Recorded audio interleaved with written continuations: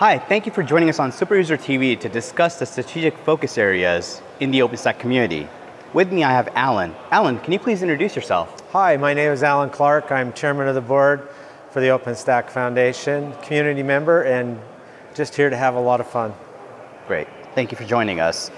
So, I want to start with why did the board or other parties that were involved uh, put together a workshop in the first place in March to come up with some focus areas for OpenStack?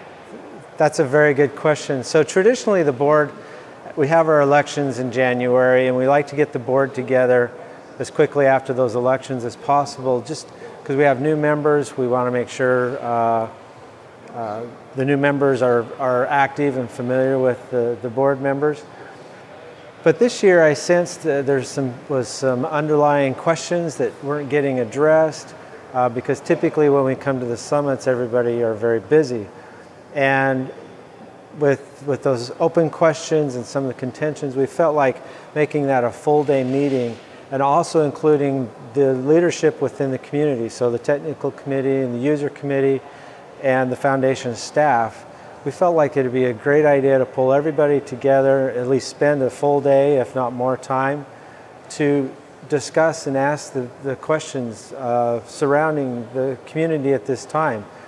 So we started very basic and said, what are the top issues on your mind?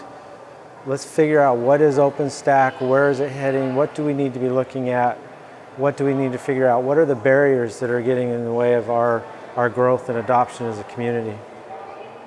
So coming out of this exercise, what were the five areas chosen as, you know, quote unquote focus areas and why these specifically?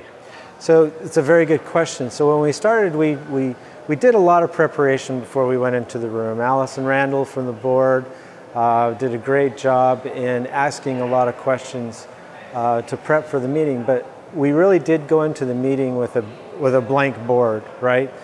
And we uh, went through the, the sticky note exercise where we just asked everyone to uh, put down what's top of mind, what their top issues were.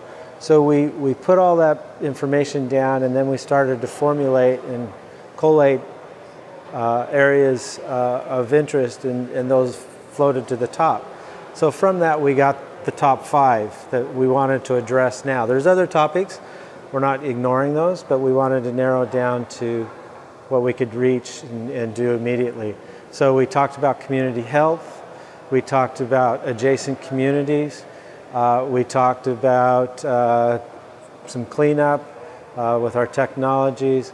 We talked about categorizing and mapping those technologies uh, within the community to help everyone better understand. And then the fifth one, looking forward, the uh, um, um, forward-looking, uh, sorry, I'm stumbling here forward-looking uh, to the, the roadmap. Yeah, absolutely. And I think, you know, um, if I recall, I think adjacent technologies was the last one that we also discussed. And, you know, I think it's evident at the summit with composable infrastructure messaging. So I, I think uh, those are all finely tuned topics. How do they relate to each other, though? Like, uh, is there a synergy, if you will? There is a synergy between those. And that, that's what was the beautiful thing by by pulling in all the perspectives, right? We have a large perspective from the board, from the technical committee, from the user committee. You get all those perspectives, and, and I was very excited to see how we didn't get these disparate topics that were topical for one group and not the other, but they ended up being very topical for everybody in the room. But as you notice, as I listed them off, they're very interrelated, right? And so a lot of the issues, if we can tackle one, it's going to help tackle, topple barriers uh, for the other areas as well. And so you, you mentioned when you were uh, giving the five focus areas that you know we chose five, but these were the only ones discussed. So so what's next there? Uh, is there is there some initiative or effort to continue this conversation? There is, um, and we actually held a board meeting this Sunday, and continue talking about those. Those areas will continue to be a focus. There's actions within the areas that are being worked on. And we're already seeing uh, uh, fruit from those efforts as we've gone along. So lots of discussion this week. They've been very topical items. during the summit. Um, so we got an update at the board meeting. We'll continue uh, to get updates from those those work efforts over the next few months. And uh, one of the exciting parts about during our joint meeting this uh, this week is the the energy that was generated from that March meeting literally has has uh, changed the relationships between the, the different uh, uh, leadership bodies, uh, much more synergy, renewed energy, as I mentioned, going forward.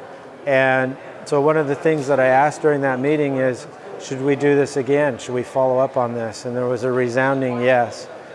So, it won't just be something we talk about this week, but it's something that'll continue to come up on the agendas during the board and technical committee and user committee meetings.